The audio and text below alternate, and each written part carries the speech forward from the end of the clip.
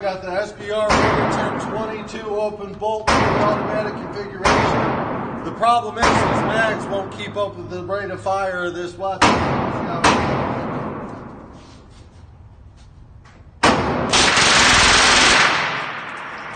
That was 25 rounds.